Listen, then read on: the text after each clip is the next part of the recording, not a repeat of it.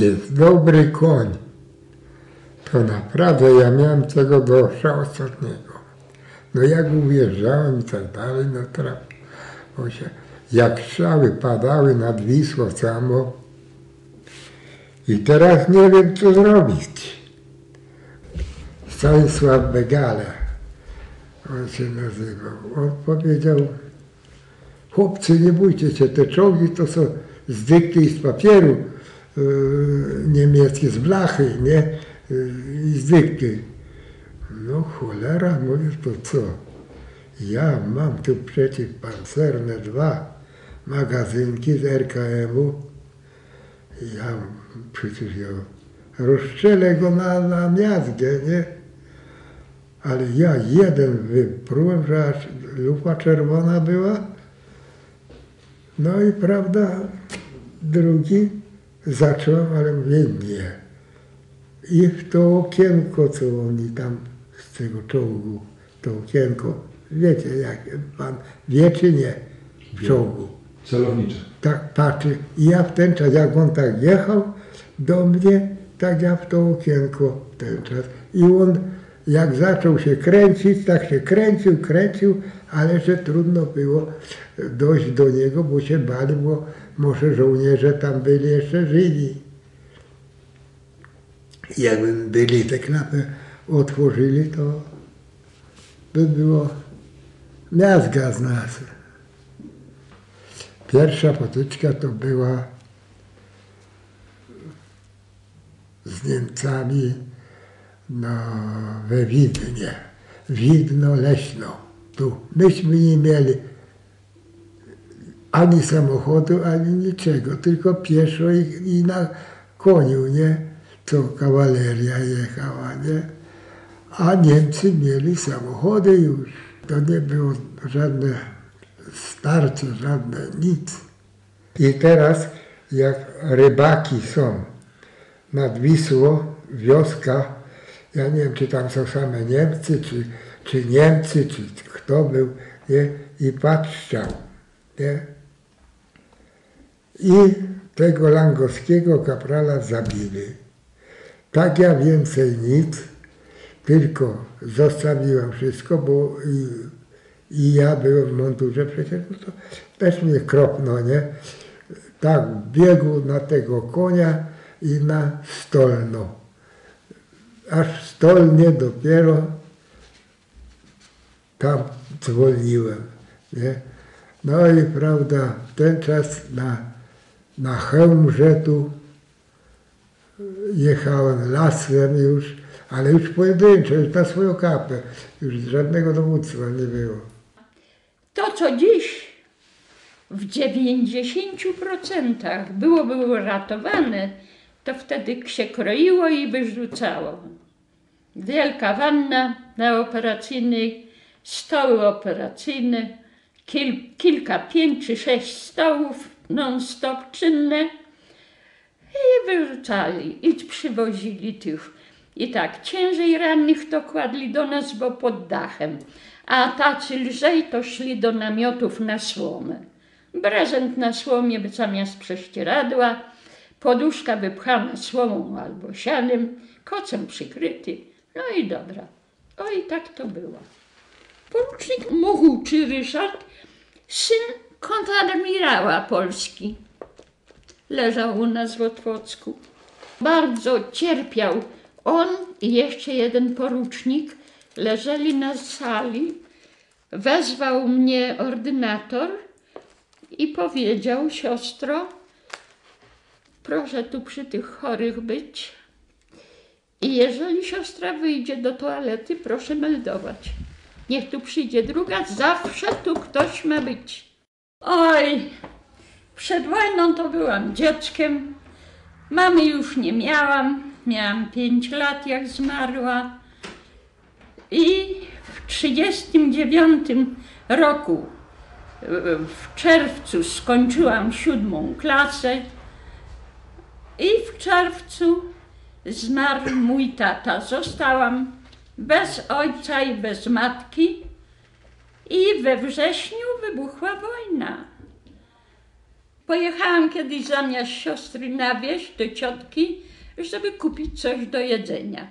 No i wracam, to jest 7 kilometrów za Kałuszynem, wieś Jaworek i wracam z workiem, bo nie było plecaków, tylko worek na sznurkach, na plecach i tam trochę słoniny, trochę masła, parę jajek, parę kartofli nawet.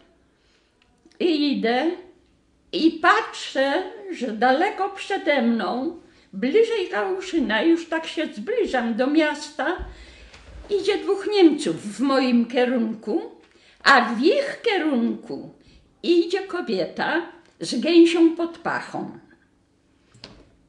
No i oni przychodzą do niej, a rowy, to była wiosna, rowy były pełne wody, bo śnieg topniał, głębokie rowy. I taki stanęło jak raz koło takiego rowu. I ci Niemcy do niej. I jeden ją karabinem wepchnął do tego rowu, a ona krzyczy. A ja w tym momencie powolutku, powolutku do tyłu, cichutko, oni tam zajęci, a ja cichutko i schowałam się za jakiś krzak przy drodze. Co to będzie, Matko Boska? Oni mnie tutaj. I widziałam całą tą tragedię tej kobiety. Gęś się drze, wyrzucili tą gęś na ulicę, a tą kobietę spychają karabinem do wody. Co na głowę wystawi, to ją karabinem wpychają. I tak ją w tym rowie utopili. Jak przechodziłam, oni poszli, gęś zabrali, wrócili, poszli do miasta. Jak ja przechodziłam, to kobieta leżała w tym rowie nieżywa. Ja tego nie zapomnę, to pamiętam. Ten krzyk gęsi i kobiety, to była Żydówka z Kałuszyna. Madame, träumet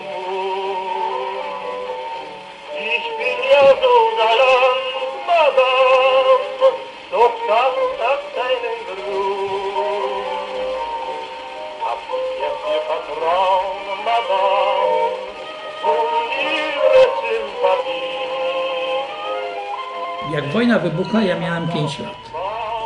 I mieszkaliśmy właśnie w Leśniczówce razem z rodziną.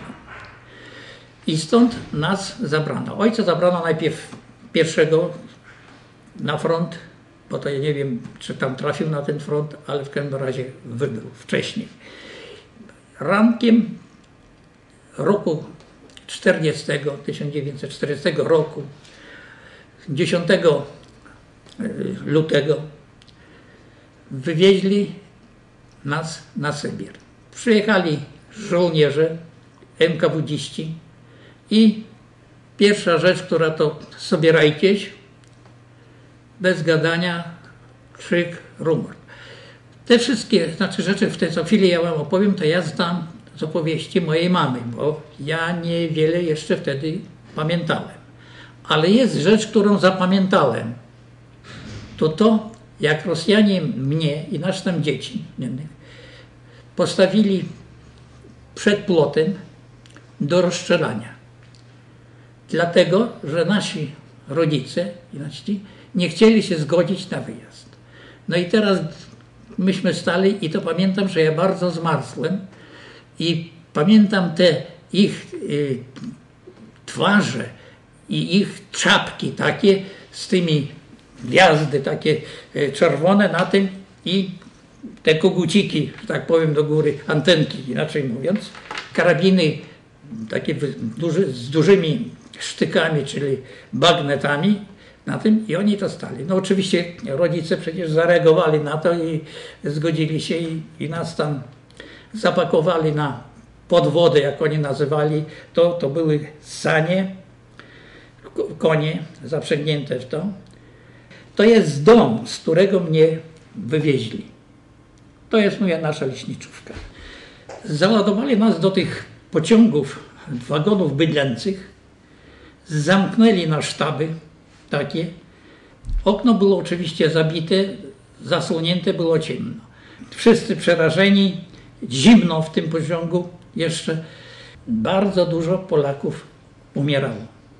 I tak podświadomie człowiek czuwał, że dzieje się coś złego. Bo jak ludzi wyrzucano i widziałem, że ten tego jest wyrzucony y, na zewnątrz, nie żyje, to zacząłem się już denerwować. No, rodzice, czyli ta mama, bo z nią byłem, uspokajała i jechaliśmy bardzo, bardzo, bardzo długo.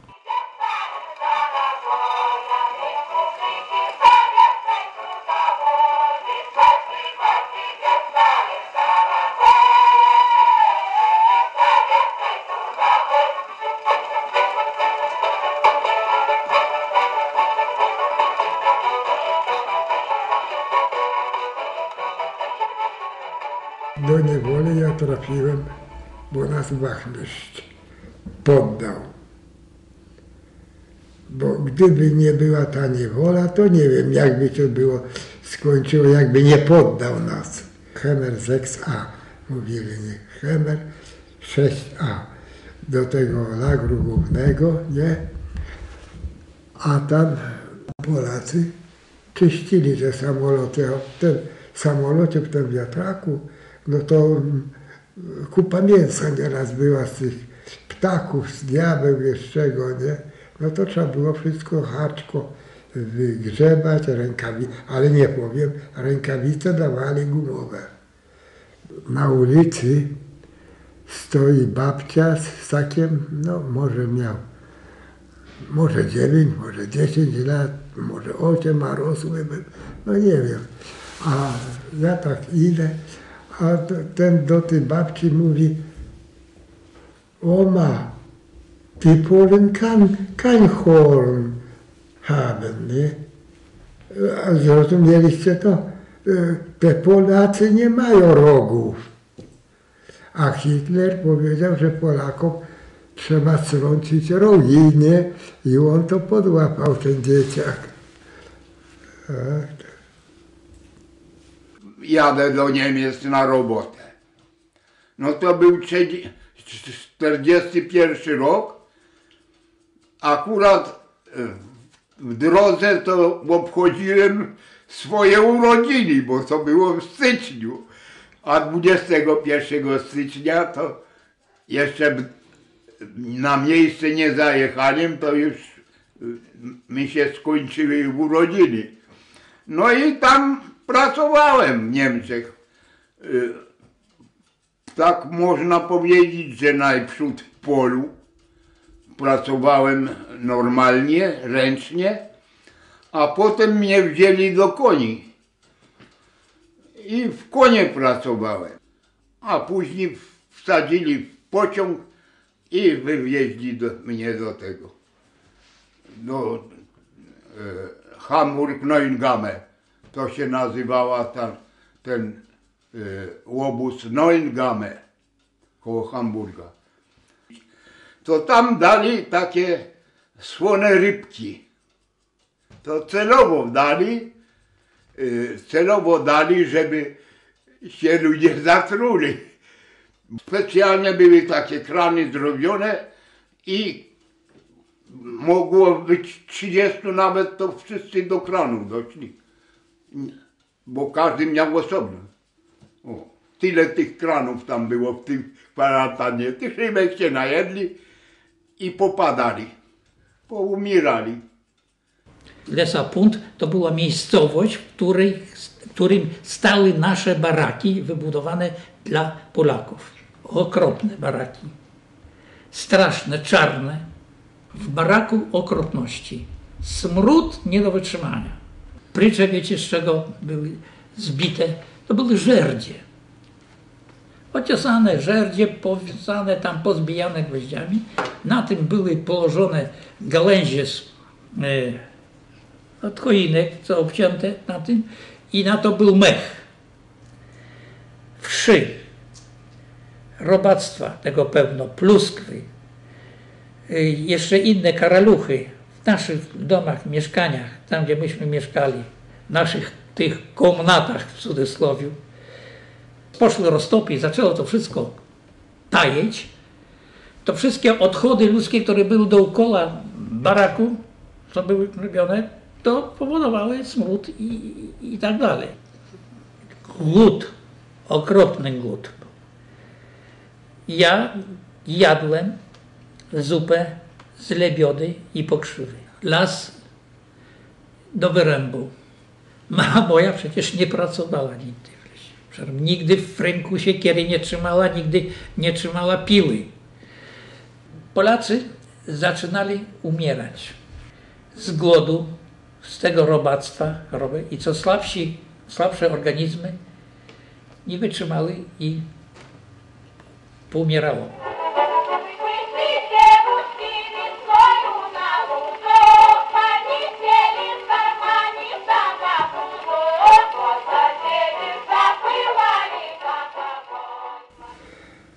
Żona przyjechała na roboty tam.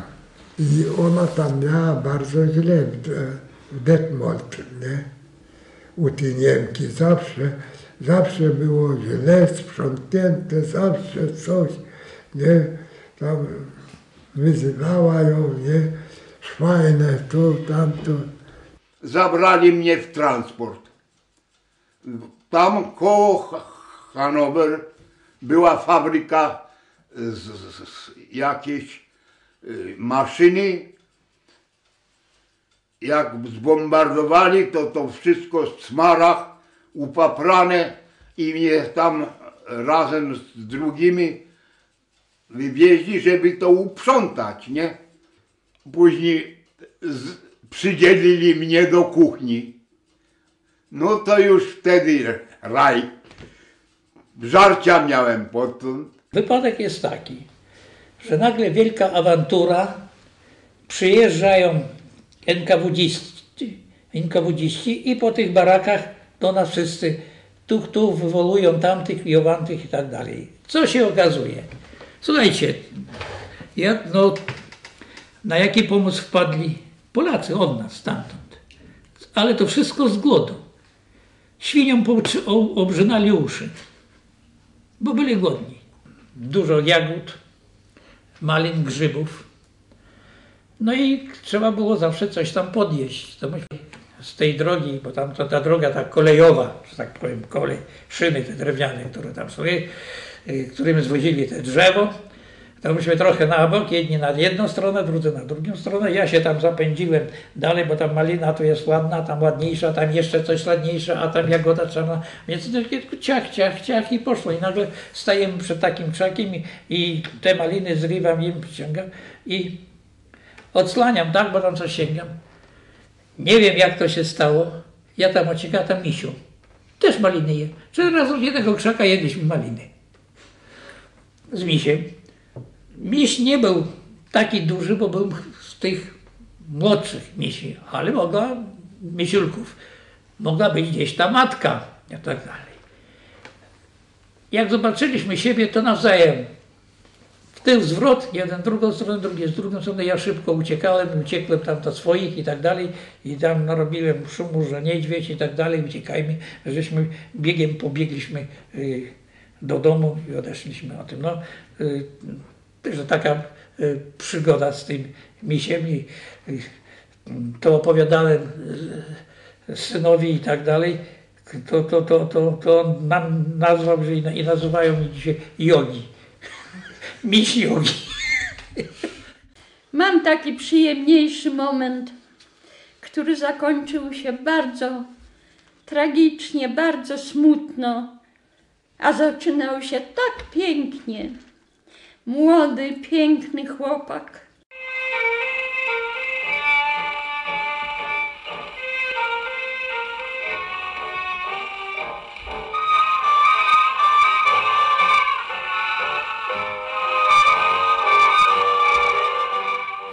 Zeszła na pierwszym piętrze była ta kaplica i ja sobie weszłam do tej kaplicy pomodlić się.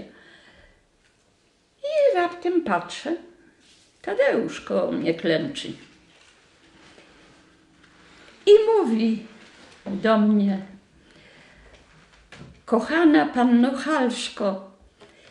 I w tym momencie czuję na ramionach czyjeś ręce. I patrzę, u niego też nasza przełożona. Stanęła z nami, wzięła nas tak za ramiona i mówi, dzieci, powiedzcie już amen bo już nie mam siły spacerować, a muszę zamknąć kaplicę. No i myśmy powiedzieli amen, on mi tej miłości nie wyznał, bo przełożona przeszkodziła. Oj tak.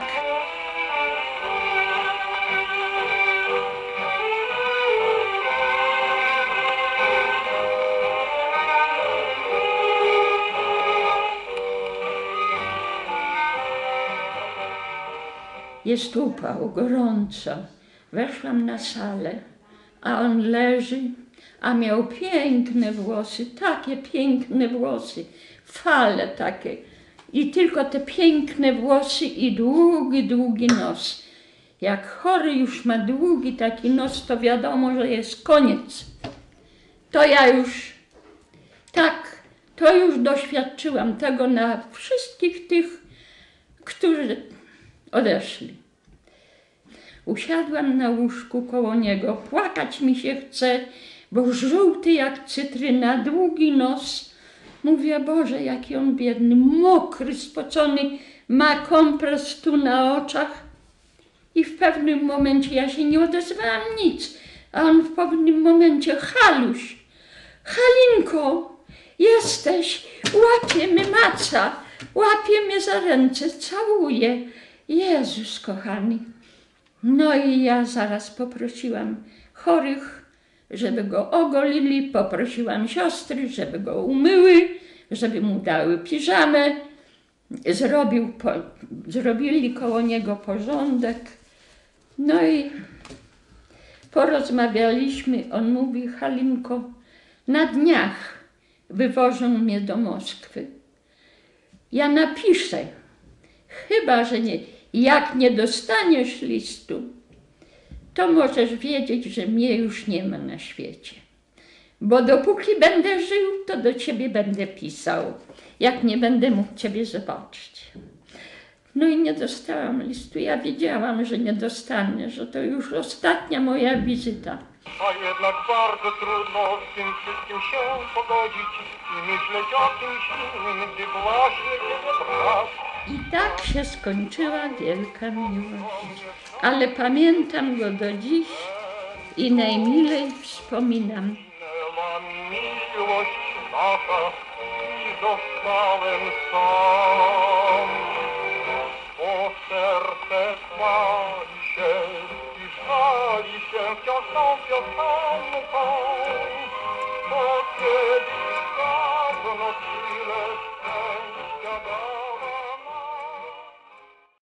Taki mały okręcik pociągnął na linię i wywiózł nas na morze koło Leustadt Holstein. I tam pi- y, około pięciu kilometrów nas zostawił. Otworzył ten włas i mnie zawołał i musiałem wyliść i mnie wsadził na tę kaparkonę. Jak ten okręt został zbombardowany, to y, smród, czad, dymu i ten Esman nie puszcza na pokład. To ja mówię do tego Wachmana, że i tak giniemy, i tak giniemy. To po co pan nie puszcza? Zaraz pan zginie razem z nami. I ja łap za tego, za ten karabin, bo tak wycelował na nas. Ja łap za ten karabin i wyciągłem mu, ten się cofnął, ludzie za mną i wyszli na pokład. I zdążyli wyjść na pokład, to dym zachłonął y, pokładem. To ja tak przez sweter miałem na sobie taką tarę jak tego, to tak to powiózłem przez noc, żeby tego czadu się nie nałykać, a oczy zamkłem i idę do, bor, do tego bortu, żeby się zatrzymać. To jak doszłem do tego bortu, otworzyłem oczy, to tak z półtora metra już dym za mną szedł. szedł. Tak, że już mogłem oddychać.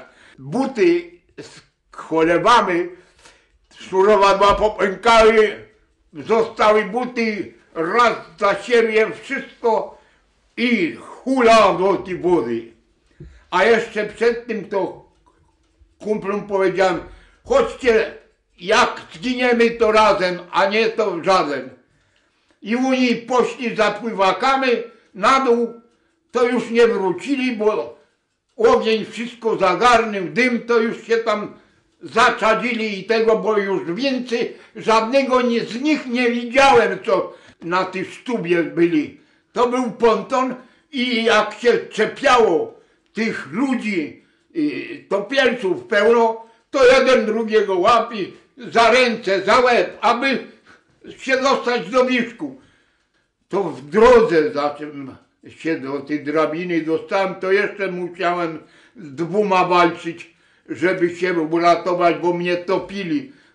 Na mnie po prostu włazili. To ja nie mogłem.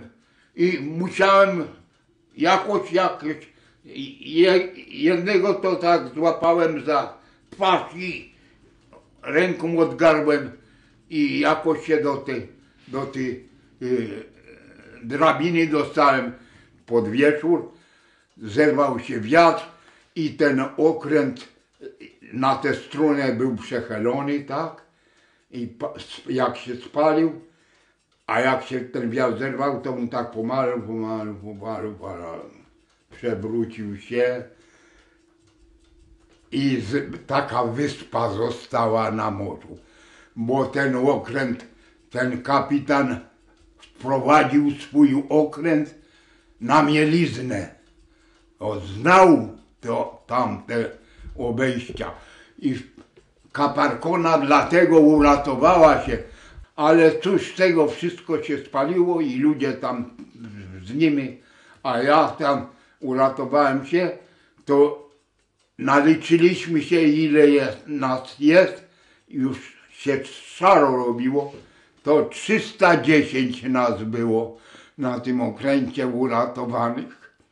Anglicy później przysłali taki mały okręcik, żeby nas stamtąd przywiózł do, do tego e, obozu, gdzie przeznaczyli dla tych więźniów.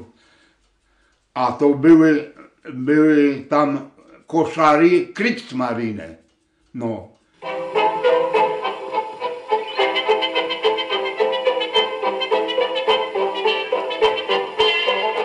Zawiązuje się wojskowa policja obozowa. No i mnie chce wkręcić tam, bo w tym bloku mieszkał razem ze mną, to pogadanym dobrze i, tego, nie, polski, polski Żydek był, Pfefferman, e, kapral, kapralem był z wojska.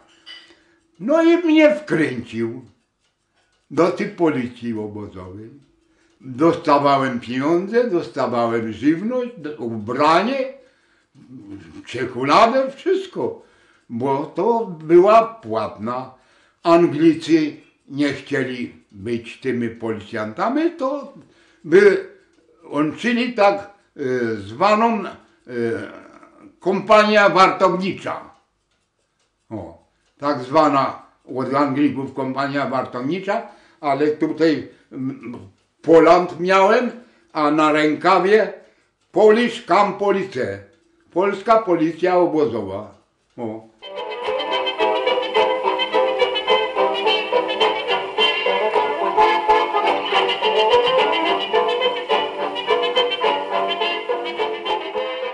Jak powiedziałam mojej starszej siostrze, gdzie ja wyjeżdżam, to ona uklękła przede mną i mówi: Słuchaj, straciliśmy trzech braci i ty jeszcze jedziesz na zatracenie między Niemców i Ukraińców.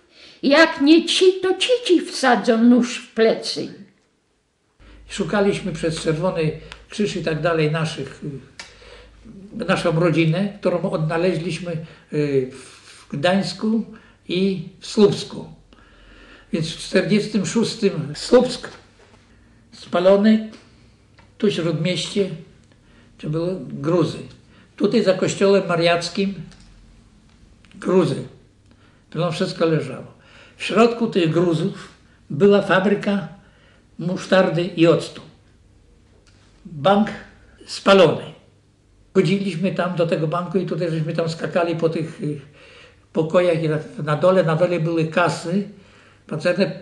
Ponoć były zatapiane. One były zatapiane wodą. Pierwsze zdjęcie, które zrobiłem w Polsce, bo jedno zdjęcie, które przywiozłem z Rosji, nie wiem, propało bez wieści. Czy zginęło, nie wiem gdzie i co, jak się znało. Jedno, jedyne z tej dziesięciny, z tych jaśli, z których mam bardzo dobre wspomnienia. Harcerstwo bardzo dużo dało mi. Jeździliśmy na obozy. Prace były też tak zwane społeczne, odgruzowywanie. Domy, które były wczasowe nad, e, nad morzem, bo to tam było nad morzem i tam gdzieś w lesie i tak dalej, myśmy to wszystko e, oczyszczali i robili. No, pierwsze początki, bo tu było 27 krów dojnych, mielin i jałowice, i byki, nie? No i, i bo traktor już był, to jeden koń był. Rok 1946. Okrężną drogą z sierackiej wsi przez niemiecki Ulm trafiłaś tu, mamo. Przywitały cię mewy i bałtyckiego morza szum. Tylko pacierz był ciągle ten sam. Odmawiałaś go klęcząc przy łóżku po niemieckim w chałupie z pruskiego muru, słuchając innego wiatru, co nie śpiewał dorodną pszenicą w rososzy. Ten tutaj wył sztormem i solą szklił oczy. Tęskniłaś za ciepłym, kraciastej chusty matczynej, gdy cierpiałaś chłód w tej czterdziestej szóstej zimie. Na podwórzu straszył żeliwny krzyż cmentarny. Były na nim gotyckie napisy, stał zapomniany, samotny, czarny. Ale i tu wiosna wróciła, z nią cicha nadzieja, którą nosiłaś pod sercem. Rozszumiała się żytnim polem, śpiewem ptaków o świcie, co wróżyła ci chleb, radość i nowe życie. W postaci mnie oczywiście, bo to ja byłam tą nadzieją mamy. Urodziłam się w chałupie z pruskiego muru, która była kryta strzechą. W takim domu osiedlili się moi rodzice, którzy tutaj po wojnie, jak zresztą bardzo wiele, wiele w tym czasie młodych ludzi po prostu y, przyjechało zasiedlać ziemię odzyskane. No i moi rodzice właśnie postanowili tutaj zamieszkać y, właśnie w tym miejscu. Tutaj jeszcze widać po obrzeżach kontury właśnie tego domostwa. No i oczywiście tutaj, gdzie to wspaniałe drzewo, ten dąb jest, to ja myślę, że może tu było to łóżko, gdzie właśnie na, na którym przyszłam na świat. Moi rodzice byli wywiezieni na tak zwane roboty do Niemiec podczas II wojny światowej. Tam poznali się jako młodzi ludzie, po, pobrali się, y, no i po wojnie, kiedy wszyscy wracali właśnie w swoje strony, moi rodzice również wrócili y, w strony mojej mamy, czyli województwo y, sieradzkie. Dokładnie to była wieś Rososz koło Wielunia. Tata oczywiście cały czas marzył o własnym gospodarstwie rolnym. I kiedy się dowiedzieli, że tutaj, właśnie na tych ziemiach, ziemia jest rozdawana dla chłopów y, praktycznie za darmo, więc y, cały czas namawiał swoją żonę, czyli moją mamę, że jedziemy właśnie tam. A ja już później, kiedy zaczęłam chyba chodzić, pamiętam, że wyszłam tutaj, niedaleko, tu była obórka jeszcze, i za tą obórką zainteresowało mnie światełko, które tam tak migało i gasło, y, zapalało się i gasło. To mogłam się wpatrywać w to światło, y, można powiedzieć, no y, godzinami. Nie wiedziałam, co to w ogóle oznacza, co to jest. A to się okazało, że to była latarnia morska w Czołpinie. Tu była taka, taki składzik, taka przy, komórka przy kuchni, gdzie często się zapędzałam jako dziecko, bo tam było dużo ciekawych rzeczy dla dziecka i pamiętam do dziś duży obraz Hitlera wisiał jeszcze na ścianie. No cóż jeszcze pamiętam? Pamiętam tutaj ten wzgórek tutaj, co jest. To jest bardzo ciekawa rzecz. Tu są posadzone trzy sosny i zawsze opowiadała moja mama, że to jest y, Niemiec, który tutaj mieszkał w tym domu, y, posadził te trzy sosny na pamiątkę y, urodzenia swoich trzech córek. No oczywiście nie były to trojaczki, ale to były siostry i miał właśnie te trzy córki. Do dziś pamiętam nazwisk, na imię miała jedna Berta i później była jeszcze chyba Elza, ale no trzeciej tej córki nie pamiętam tego imienia. I te widzę, te sosny, one tu jeszcze do teraz są. Ciekawe właśnie, czy, ten, czy one, czy te córki kiedykolwiek o tej historii wiedziały i czy tu przyjechały też odwiedzić to miejsce, bo to naprawdę jest bardzo takie wzruszające troszeczkę. Każdy grób, y, każdy krzyż y, no, ma piętno właśnie jakiejś tragedii, czy to rodzinnej, czy jakiejś osobistej, y, każdego z tych, którzy tutaj leżą. Znałam go bardzo długo, wiele lat, wiem kim był. Był to bardzo miły, ciepły, dobry człowiek, który zajmował się łowieniem ryb. Wyjechali wszyscy z tej wioski, jego znajomi, jego sąsiedzi, jego rodzina nawet.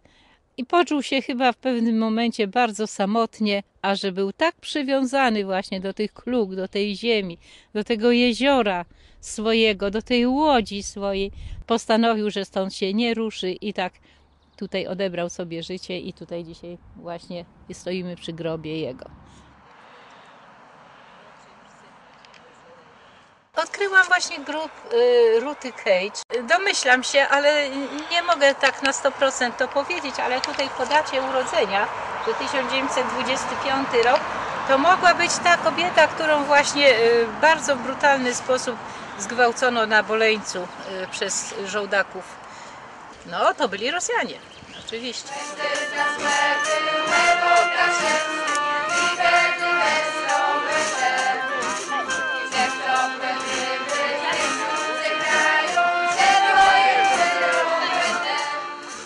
Ja ze swoich czasów jeszcze młodych pamiętam doskonale kopanie torfu, bo statem żeśmy jeździli tutaj właśnie e, w okolice tu Kluk i ta, tato wydobywał właśnie torf z takich właśnie dołów, z torfowisk.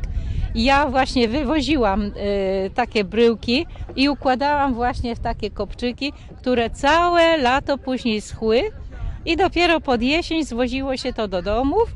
To już wtedy jako suchy opał przechowywało się w jakichś drewutniach, gdzieś pod daszkami i służyło to później jako, jak już wspomniałam, właśnie do opalania pieców, po prostu y, zamiast węgla.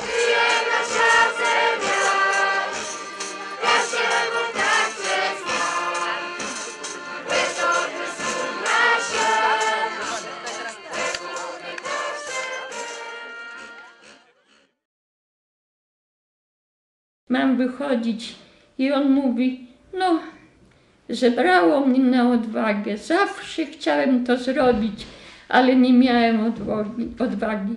Pocałuj mnie. Boże, no jak takiego człowieka nie pocałować? Jak pani wie, że to jego koniec? Patrzę na ten okręt, to na linie siedzi człowiek i, i we wodzie i tak się te liny trzyma żeby się nie utopić, za chwileczkę puścił się liny i trup. Na drugim linie tak samo, bo liny takie pospuszczanie na dół od samego czubka do samej wody. Mój Boże, tak sobie myślę, kurcze pieczone, jakiś to cud to. A oni jeszcze to mówili, nie bespokojся, czyli się nie martw się. Pomrzesz, to pochoronim. Czyli jak umrzesz, to pochowany. O Polsce nada zabywać. O Polsce trzeba zapomnieć. Tutaj i tu zostaniecie. A to tam pamiętam. Oficerowie może nawet i w karty grali i pili razem, a ta szara masa biła się i za kogo to nie wiem. No za Polskę. Czy nie? Tak jest. Za, my walczyli za Polskę. Za Polskę, za cały naród. Ale nasi panowie to tak nie walczyli jak my, żołnierze szarzy.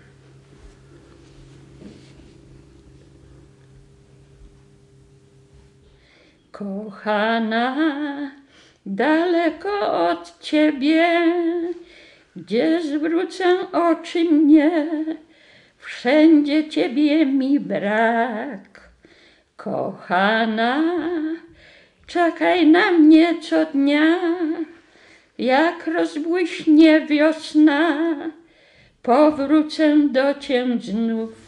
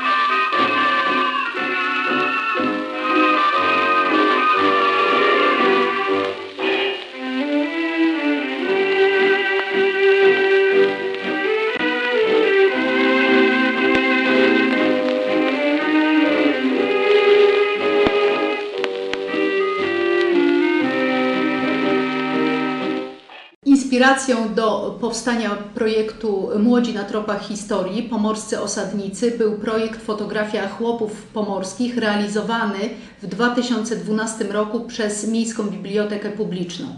Y, Projekt polegał na gromadzeniu i opisywaniu fotografii. Ze względu na dużą ilość materiału ikonograficznego, który został y, zgromadzony podczas realizacji projektu Fotografia Chłopów Pomorskich, stwierdziliśmy, że należy kontynuować y, to dzieło. Dlatego też powstał kolejny projekt edukacyjny Młodzi na tropach historii.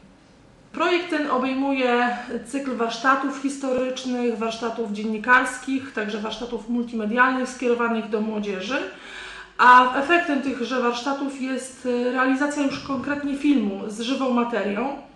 Bohaterami tego e, filmu jest pięciu e, pomorskich osadników, którzy dzielą się swoimi losami, swoimi historiami, także dokumentami. Zadaniem młodzieży jest samodzielne odszukanie osób, które chciałyby się podzielić tymi losami, dotarcie do nich, zadanie im różnorakich pytań. Warto podkreślić, że y, młodzież jest zaangażowana także w powstawanie strony internetowej Detektywi Historii, która ma na celu e, zachęcenie innych y, kolegów, y, którzy również zachęceni e, tym projektem będą chcieli odkrywać i poznawać te tajniki.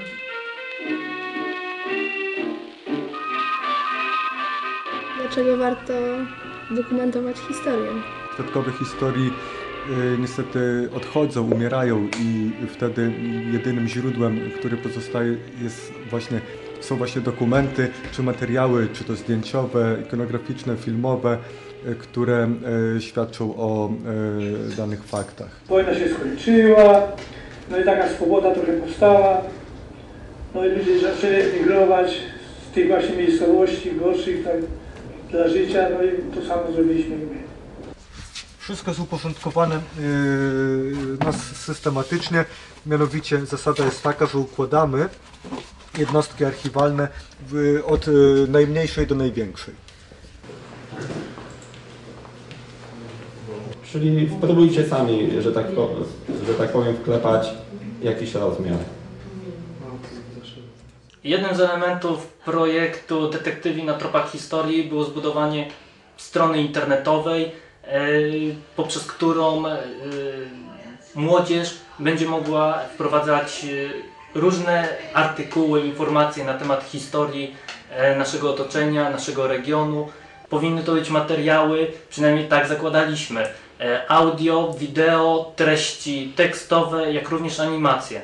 Dlatego też wybraliśmy system, który jest e, bardzo rozbudowanym systemem zarządzania treścią, czyli CMS e, Joomla. Na monitorze za mną jest widoczna nasza e, strona testowa e, projektu. Widzimy na niej u góry e, menu nawigacyjne, poniżej e, widać e, menu logowania. Czyli nasz portal składa się z dwóch podstawowych elementów. Pierwszym elementem jest strona frontowa, czyli to, co jest widoczne dla użytkowników. Teraz przeszliśmy do panelu administracyjnego. Widzimy tutaj możliwość utworzenia artykułów, zarządzania kategoriami, zarządzania multimediami. Możemy dodawać i usuwać użytkowników. Photoshop, jak widzicie, jest potężnym narzędziem, zresztą jest to najlepsze narzędzie do obróbki grafiki rastrowej, czyli tej, którą dostajemy z aparatów fotograficznych. Tak naprawdę sztuka polega na tym, że najpierw musimy wiedzieć, jaki efekt chcemy uzyskać, a później na tyle rozpoznać program, żeby wiedzieć, jak najlepiej ten efekt osiągnąć. W tej chwili skoncentrujemy się na ustawieniu ostrości, poprawieniu ostrości tego zdjęcia. Pierwszą czynnością, jaką tutaj wykonałem, było stworzenie warstwy, dlatego że dobra praktyka nakazuje zawsze pracować na warstwach i sobie powiększymy zdjęcie, żeby przyjrzeć się.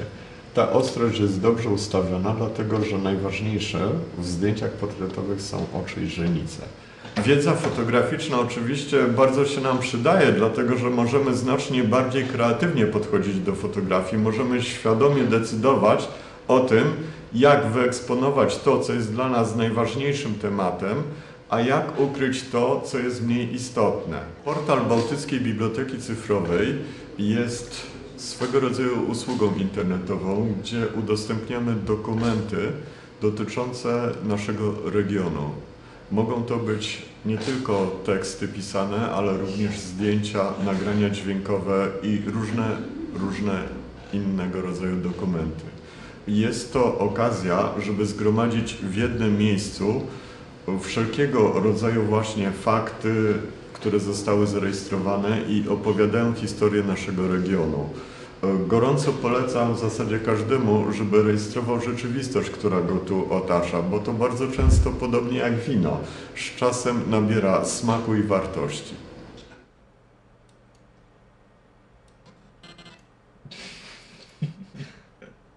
Co chcecie wiedzieć na temat montażu, tak? E, Mówiąc krótko, wszystkie materiały, które nagracie w terenie kamerą należałoby zmontować. Montaż telewizyjny polega głównie na e, przede wszystkim na zmontowaniu materiałów stuprocentowych, czyli takich, które zawierają e, dźwięk i obraz. Mając taki materiał zmontowany, ten, tą podstawę dźwiękowo-obrazową, wymontowujemy tak zwane też przebitki, czyli obrazki, które e, posłużą po pierwsze do ilustracji tych wypowiedzi lub jeśli jest cięcie dźwięku i następuje przeskok obrazu animacja, wtedy jest okazja, żeby to przykryć. Kolejne ścieżki to są ścieżki dźwiękowe, na których możemy dołożyć dodatkowy dźwięk.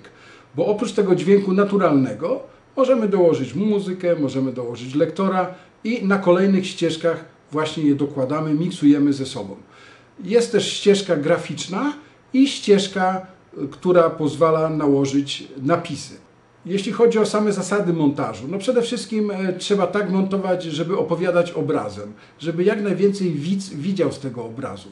Również montować należy plany różnorodne, czyli plany szerokie, bliskie i należy ten obraz zmieniać, żeby tego widza nie nudzić. Nie może być to rozmówca, który przez pół godziny mówi w jednym planie. Dlatego już podczas filmowania trzeba zadbać, aby pokazywać e, to w różnych planach. Nie jest to trudna sztuka i myślę, że mając dzisiaj e, te różne rodzaje nawet kamery w aparatach fotograficznych czy w telefonicznych, no, warto z tych programów korzystać.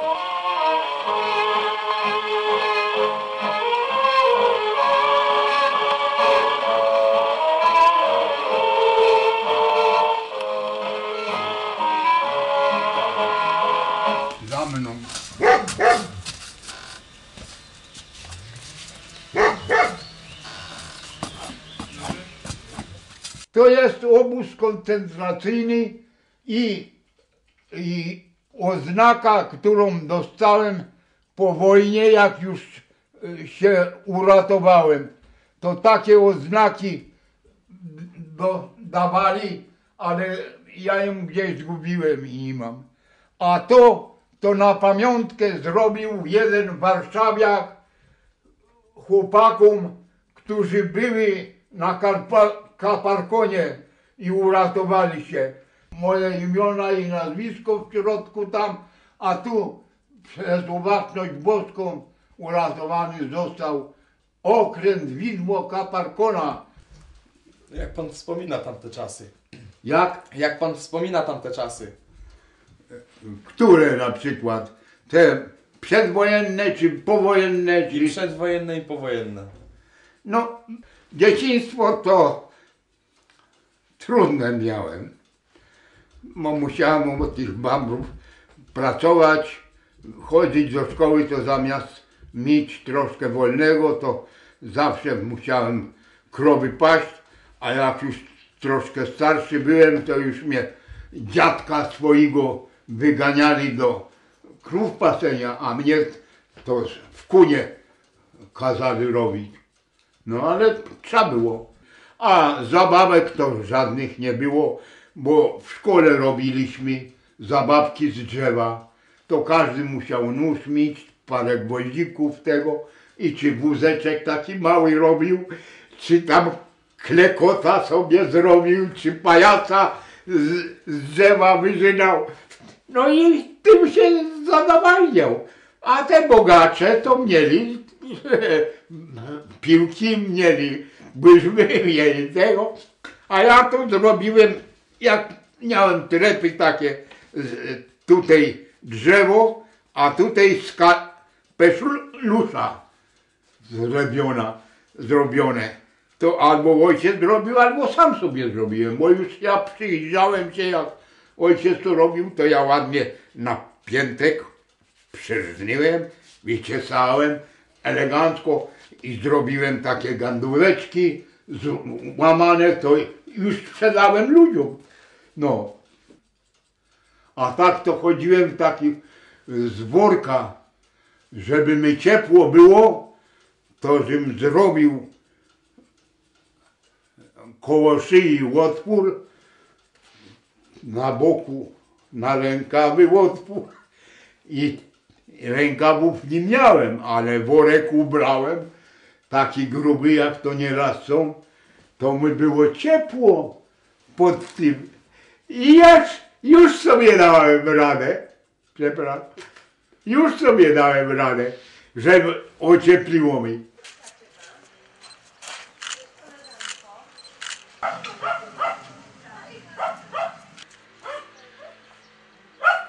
Młodzież pytała mnie o bohaterów, pomorskich osadników. Yy, Poznałam pana Juliana Wyraza, 98-letniego ułana 8 Pułku Strzelców Konnych z Chełmna, który przeżył kampanię wrześniową. Trafił do obozu jenieckiego, 5 lat robót przymusowych w Niemczech. Po y, roku 1945 przeniósł się do Miszewa w gminie Trzebielino.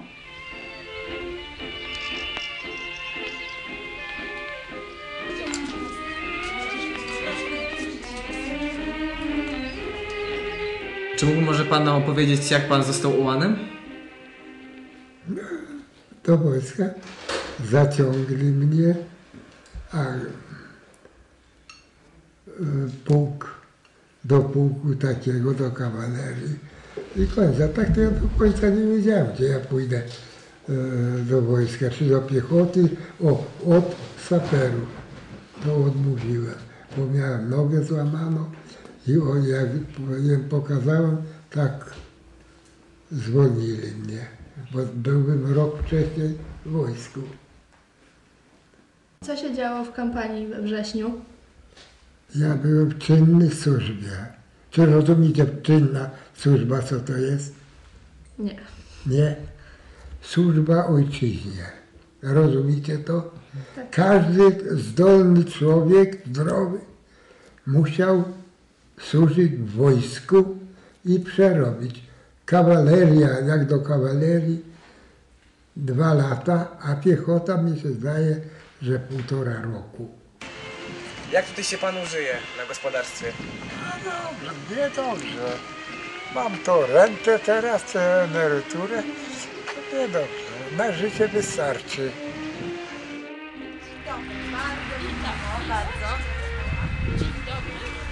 Proszę pana, ja mam jedno ucho to nieczynne, a tu mam aparacik. Słyszę, ale słów nie rozumiem. Filmu żadnego nie mogę obejrzeć. Bo słyszę głos, ale nie rozumiem słów. Aha.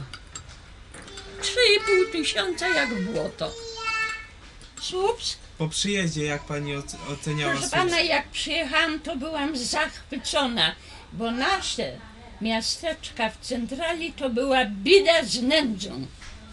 Dróg, nie było chodników, nie było oświetlenia, bida z nędzą, a tu przyjechałam, Boże, jak ja wyszłam przed dworzec, to, a to w koniec maja, wojska polskiego była tak piękna. Przed każdą kamienicą był ogródek kwiatowy. Kute płotki, każdy jeden ładniejszy od drugiego. Nie było takich chodników jak teraz, tylko były te.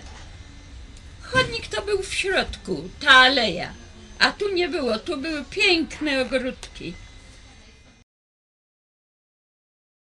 Tu jeszcze są wspomnienia mamusi. Miłość z wojskowego szpitala, Tadziu Pelc.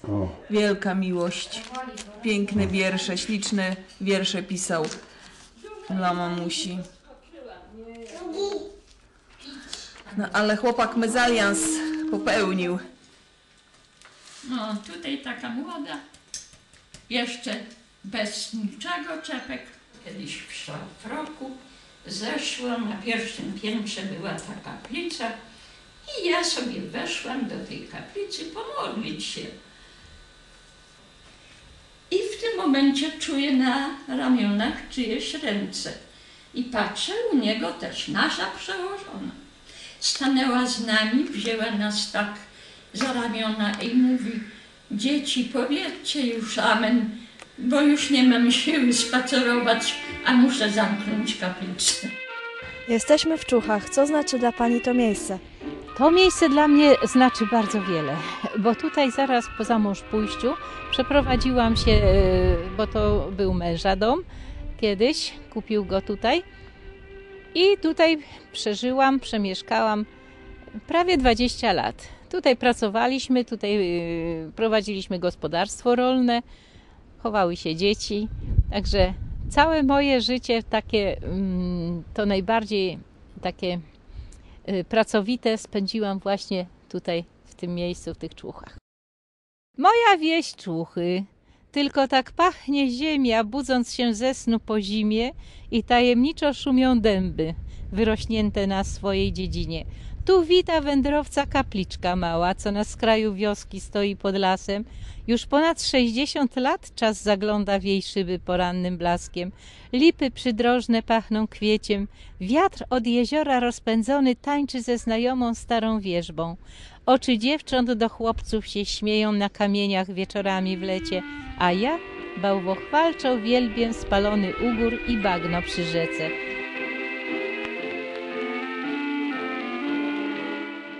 Przyjęliście się do tego projektu na ochotnika, czy tak przyznajcie się, trzeba było was trochę namawiać? Znaczy w moim przypadku było tak, że zahaczyła mnie Pani od historii. która Bardzo dobrze wie, że ja z historii, powiedzmy, bardzo interesuję się tym przedmiotem i po prostu zadała mi pytanie, czy nie chciałabym wziąć udziału w takim oto projekcie. Bo Powiedziała mi kiedyś spotkanie organizacyjne, żebym poszła się zapoznała i czy będę miała ochotę, czy nie, to Mhm. już sama zadecyduję.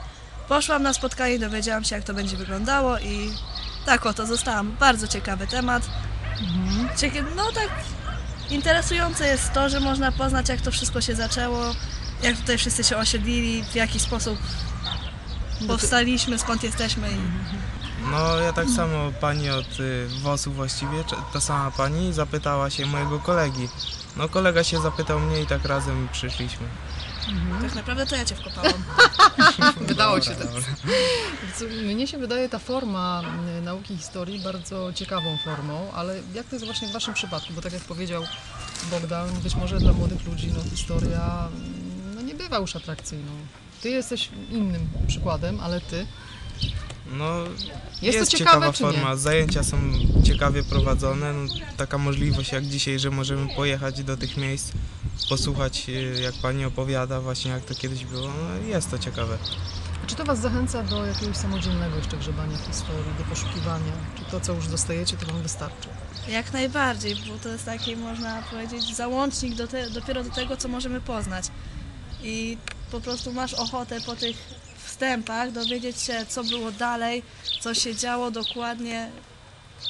A czy y, Wy jesteście w ogóle zaskoczeni bogactwem, bogactwem tej historii? Zastanawialiście się kiedyś, że, że to miejsce, w którym żyjecie ma, ma tak bogatą historię? No nigdy się nie zastanawiałem, a teraz jak poznałem, no to rzeczywiście jest bardzo bogata ta historia tutaj naszych regionów.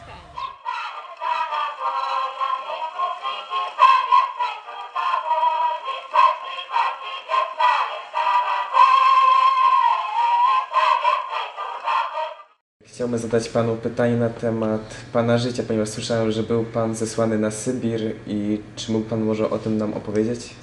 Oczywiście, że tak. No to dosyć y, obszerny te, temat i bardzo dużo na ten temat mogę powiedzieć. Y, Do momentu przybycia tutaj do Słupska, bo w Słupsku też osadników dużo było, a ja w ogóle pochodzę z Polesia.